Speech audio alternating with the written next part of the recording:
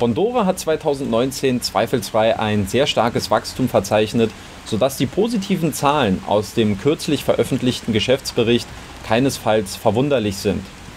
Wie gut sich die finanzielle Situation bei Bondora aber aktuell tatsächlich darstellt und welche Informationen und Auffälligkeiten ich aus dem aktuellen Jahresabschluss extrahieren konnte, das erfährst du in diesem Video.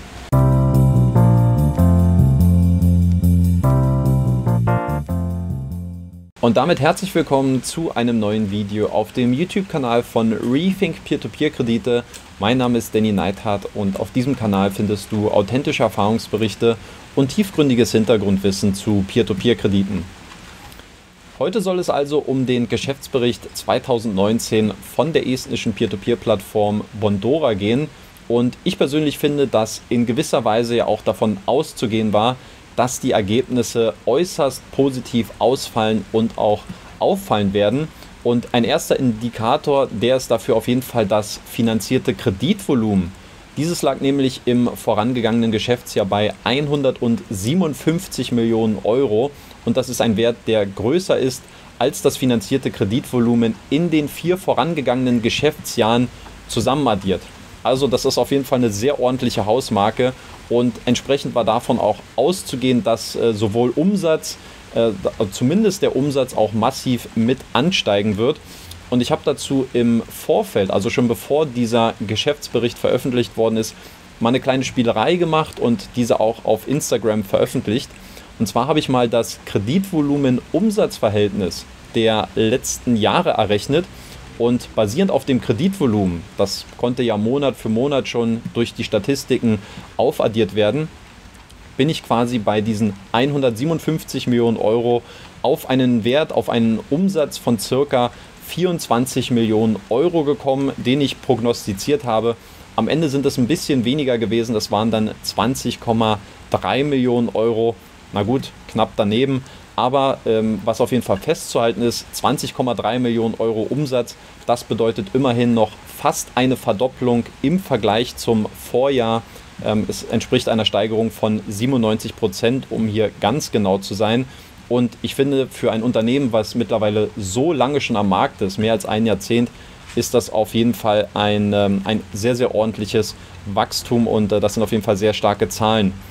Ähm, aber es kommt natürlich nicht nur auf den Umsatz an sich an, weil natürlich mit dem Umsatz natürlich auch parallel die Aufwendungen und die Ausgaben auch äh, steigen werden, was ich gleich noch mal, äh, wo ich gleich nochmal näher drauf eingehen werde. Ähm, sondern es kommt natürlich auch immer darauf an, was bleibt am Ende hängen, was bleibt unterm Strich stehen. Und das waren bei Bondora im letzten Jahr ein operativer Gewinn von 2,28 Millionen Euro und dadurch ist das Unternehmen mittlerweile im dritten Jahr profitabel. Erste Auffälligkeiten, die ich gleich ähm, festgestellt habe, waren gleich am Anfang und zwar im Management Report. Und zwar hatte ich hier den Eindruck, dass äh, große Teile der Zusammenfassung Textkopien aus dem vorangegangenen Geschäftsbericht für das Jahr 2018 gewesen sind. Ich werde es hier mal versuchen für euch gegenüberzustellen. Da gibt es zum Beispiel diesen einen größeren Absatz, wo der damit beginnt, uh, The Group launched a new product to retail investors Go and Grow. Also wir wissen natürlich äh, alle oder die meisten sicherlich, dass Go and Grow 2018 in den Markt eingeführt worden ist und äh, es sich hierbei scheinbar um eine, einen äh, Copy-Paste-Fehler handelt. Und auch äh, unterhalb der Tabelle gibt es auch nochmal zwei kleine Textpassagen, die ebenfalls eins zu eins aus dem Jahr 2018 kopiert worden sind. Zum Beispiel, dass man 2019 einen Anstieg beim Kreditvolumen erwarte, und auch minimal das Jahresendergebnis steigern wolle. Ja, also auf jeden Fall ähm, hat da irgendjemand nicht aufgepasst. Das sind auf jeden Fall ganz klare Textkopien. Ähm, fragt mich nicht, was es damit auf sich hat. Ähm, hätte man auf jeden Fall ein bisschen ähm, besser aufpassen sollen. Übrigens, wo wir gleich äh, gerade beim Thema sind, äh, Stichwort 2018. Auch im letzten Jahr habe ich den Geschäftsbericht von Bondora analysiert. Ich werde euch das Video jetzt hier verlinken. Schaut es euch gerne an, falls euch das interessiert. Und ansonsten würde ich sagen, springen wir mal direkt rein in die Gewinn- und Verlustrechnung von Bondora im letzten Jahr. Und dann erkennen wir ganz oben natürlich, dass der Umsatz 2019 bei 20,26 Millionen Euro lag und wie bereits erwähnt, das entspricht einer Steigerung von 97 Prozent zum Vorjahr. Der größte Umsatz, den hat Bondora in seinem estnischen Heimatmarkt erzielt. Dort waren es insgesamt 10,6 Millionen Euro, die hier in Estland erwirtschaftet worden sind. In Spanien und Finnland zusammengerechnet sind es hingegen 9,6 Millionen Euro gewesen. Wie splitten sich diese Umsatzquellen bei Bondora auf? Ich nenne mal jetzt die zwei größten Faktoren. Ähm, mit 8,4 Millionen Euro waren es die Provisionseinnahmen bei der Kreditvermittlung ähm, auch bezeichnet als Origination Fee, die bei Bondora den größten Teil des äh, zum Umsatz beigetragen hat, gefolgt mit 6,5 Millionen Euro die Verwaltungsgebühr der Darlehen, die sogenannte Management Fee, welche bei Bondora jährlich 4% der ausstehenden Kreditsumme ausmacht. Ich hatte es am Anfang schon kurz erwähnt, ähm, durch einen Anstieg des Kreditvolumens von 60 auf nunmehr 157 Millionen Euro ist natürlich selbstredend nicht nur der Umsatz gestiegen, sondern natürlich auch die dafür benötigten Aufwendungen. Und diese lagen 2019 bei 5,4 Millionen Euro und haben sich damit im Vergleich zum Vorjahr fast verdoppelt. Ähm, als zweitgrößter Posten kommen danach dann die ausgelagerten Dienstleistungen mit 2,4 Millionen Euro, welche allerdings äh, nicht genauer aufgelistet worden sind. Also mich hätte da schon interessiert, was hat man da jetzt konkret outgesourced, warum ist dieser Posten äh, so hoch, was verbirgt sich dahinter. Da fahren wir leider nichts aus dem Geschäftsbericht. Es folgen dann das äh, Schuldenmanagement mit 1,54 Millionen Euro und das IT-Management mit 1,47 Millionen Euro. Und auch die operativen Kosten, die haben sich mit 9,36 Millionen Euro im Vergleich zum Vorjahr fast verdoppelt. Hier stehen insbesondere die Marketing- und die Werbungskosten im Vordergrund. Die haben insgesamt 5,74 Millionen Euro ausgemacht. Also man erkennt schon, die Ausgaben, die Aufwendungen, die sind auf jeden Fall stark angestiegen. Aber unterm Strich muss man sagen, dass sich die Skalierung positiv auf das finale Geschäftsergebnis ausgewirkt hat, denn am Ende steht ein operativer Gewinn von 2,28 Millionen Euro. Das war nicht nur der höchste Jahresgewinn für Bondora in der Historie, sondern eben auch das dritte Jahr in Folge, wo Bondora ein profitables Geschäftsergebnis erzielen konnte. Dann schauen wir als nächstes mal auf die Bilanz und auf ein paar KPIs, die sich daraus ableiten lassen. Los geht's bei der Eigenkapitalquote und beim Eigenkapitalwachstum. Die Eigenkapitalquote, also das Verhältnis von Eigenkapital und Bilanzsumme, die lag 2019 bei 44,47 Prozent. Aus meiner persönlichen Sicht ein sehr, sehr starker Wert, der sich auf jeden Fall sehen lassen kann. Zum Vergleich, bei Mintos lag die Eigenkapitalquote 2019 bei ebenfalls sehr akzeptablen 41,13 Prozent. Bei Neo Finance waren es hingegen nur 15,28 Prozent. Zur Relation kann man jetzt natürlich erwähnen, dass die Bilanzsumme mit 7,57 Millionen Euro auch vergleichsweise gering ist und es insofern auch nicht so schwer ist, hier eine gute Eigenkapitalquote vorzuzeigen. Ich denke mal, wenn die Bilanzsumme äh, das 10 oder das 100-fache von dem betragen würde, also 70 oder 700 Millionen Euro, dann wären äh, diese weit über 40 Prozent sicherlich schon etwas unrealistischer. Aber nichtsdestotrotz, Bondora scheint äh, seine Finanzen, äh, das sieht man auch in der Historie der letzten Jahre, nachhaltig äh, gut im Griff zu haben. Und insofern ist das auf jeden Fall aus meiner Sicht positiv zu bewerten. Auch die Eigenkapitalsteigerung zum Vorjahr, die beträgt gute 57 Prozent, nachdem es im Vorjahr nur ca. 14 Prozent gewesen sind. Weiter geht's mit dem Liquiditätsgrad. Dieser errechnet ja das Verhältnis aus kurzfristigen Vermögenswerten und kurzfristigen Verbindlichkeiten. Und im Idealfall sollte dieser Wert natürlich größer als 1 sein, denn das bedeutet, dass kurzfristig betrachtet genug Vermögenswerte vorhanden sind, um die, ähm, um die kurzfristigen Schulden oder um die kurzfristig anstehenden Verbindlichkeiten auch zu bedienen. Und hier lag der Wert bei Bondora bei 1,75. Das ist der niedrigste Wert, äh, wenn man sich die letzten drei Jahre anschaut.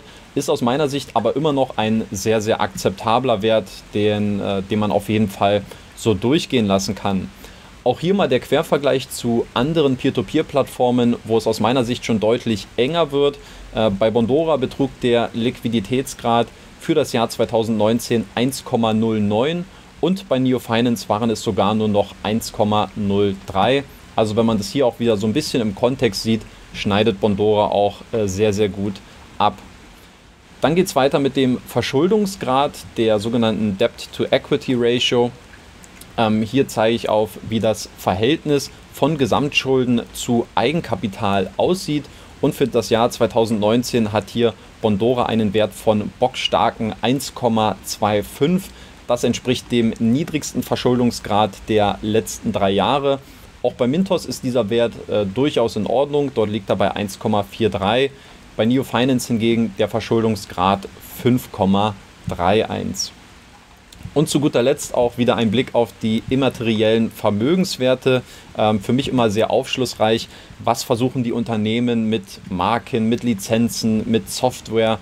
Ähm, inwieweit versuchen sie dadurch, äh, durch diese Vermögenswerte, durch diese immateriellen, die Bilanz auf der aktiver Seite so ein bisschen künstlich aufzublasen? Ähm, da muss man bei Bondora sagen, da liegt der Anteil bei 2,33 Prozent, was äh, auf jeden Fall sehr angemessen einzustufen ist. Bei Mintos hingegen, dort beträgt der Wert ja stolze 26,64 Prozent. Also da sieht es schon deutlich anders aus. Kommen wir mal zu einem Fazit. Was lässt sich abschließend über die finanzielle Situation bei Bondora festhalten? Also Bondora hatte auf jeden Fall ein außergewöhnlich starkes Wachstumsjahr 2019, ähm, was sich nicht zuletzt auch in den Zahlen äh, von diesem Geschäftsbericht auch ähm, manifestiert hat und auch äh, widerspiegelt. Was die wirtschaftliche Seite angeht, würde ich Bondora als ein sehr solides und stabil aufgestelltes ähm, Unternehmen bezeichnen, was sich im Vergleich auch zu seinen Wettbewerbern äh, auf jeden Fall überhaupt nicht verstecken muss. Ein Faktor, der natürlich hier so ein bisschen mit reinspielt, glaube ich, ist auch das Thema Marktreife. Bondora ist mittlerweile seit mehr als einem Jahrzehnt am Markt aktiv und ich glaube, dass es sehr viel mehr jüngere Wettbewerber gibt, die sich einfach noch stärker anstrengen müssen, sich in diesem Markt zu etablieren und die einfach noch stärker auf Wachstum getrimmt sind und insofern glaube ich, dass es äh, jetzt schon mittlerweile auch ein Plus ist, ähm, was Bondora gegenüber vielen anderen Wettbewerbern auch besitzt. Und dennoch muss ich äh, oder glaube ich, dass man auch sagen kann, dass äh, Bondora dennoch gezeigt hat, dass ähm, man selbst als ein vergleichsweise etabliertes Unternehmen, ähm, dass man auch noch genug Spielraum nach oben besitzt und dass man durchaus auch noch weiter wachsen kann und dass das Ende der Fahnenstange nicht erreicht ist. Häufig hat ja diese, ähm, ja, diese, diese Marktreife auch immer so ein bisschen den Vorwurf, dass das Wachstum dann auch sehr, sehr stark abflacht.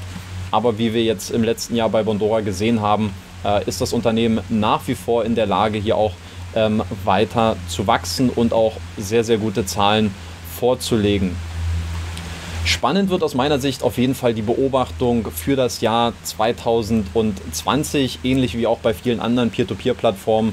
Ähm, die Beeinflussung der Geschäftsentwicklung bedingt durch Covid-19. Ich denke mal, das ist was, was äh, sehr, sehr interessant äh, nachzuverfolgen wird dann im nächsten Jahr. Bondora selbst hat ja schon eine sehr, sehr selbstbewusste Ankündigung auch diesbezüglich gemacht, dass man auch 2020 ein profitables Geschäftsjahr ähm, haben werde.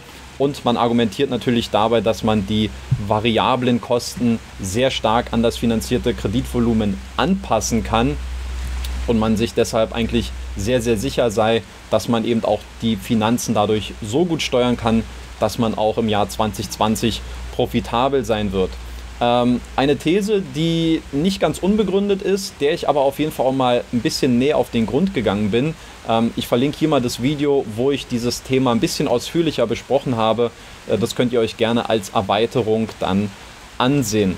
Was die wirtschaftliche Perspektive angeht, so glaube ich, dass ähm, selbst wenn wir jetzt in den nächsten Monaten weiterhin ein stagnierendes Kreditvolumen beobachten, also so in dem Bereich von 2 bis 3 Millionen Euro, ähm, dass dennoch unter dieser Prämisse eine positive Fortführungsprognose, zumindest für die nächsten zwölf Monate, zu erwarten ist, wenn wir uns jetzt allein auf diese wirtschaftliche Seite konzentrieren. Ähm, und der Grund ist einfach, dass ich glaube, dass Bondora schon gewisse Steuerungsmöglichkeiten auch besitzt um die Ausgaben entsprechend, äh, die variablen Ausgaben entsprechend äh, herunterzufahren, auch eben sehr stark angepasst auf dieses Kreditvolumen, ähm, was ich ja auch dann in diesem anderen Video etwas näher besprochen habe.